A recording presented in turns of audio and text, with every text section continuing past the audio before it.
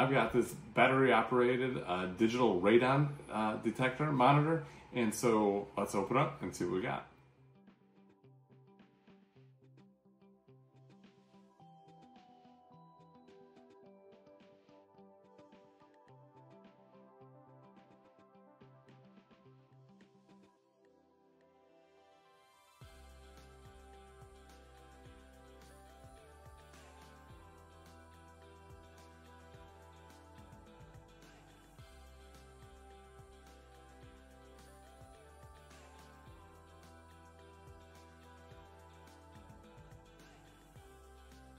So got the batteries installed.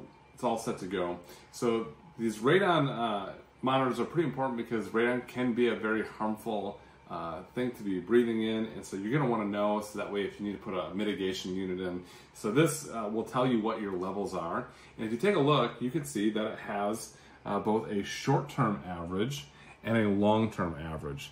And that's important because the long-term average is the more accurate reading, but the short term will give you a, quick snapshot of what's happening. And so when you set this up, like I have it now, you want to go put it in place for at least 24 hours the first time you use it, and then you'll get your initial reading.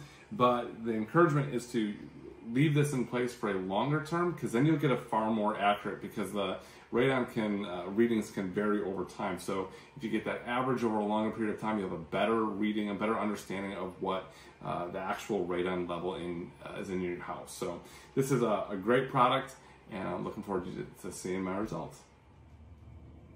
I've had the radon monitor down in my basement for a couple days, and so uh, now I, you can see the, the values that are picking up here. And so the long term, which is the more accurate reading, which goes over several days, uh, is at a nice level. And then the short term also lets me know where it's been at. So um, that's how it works. Again, the long term is going to be the more accurate data. That's the number that you're going to want to be paying attention to.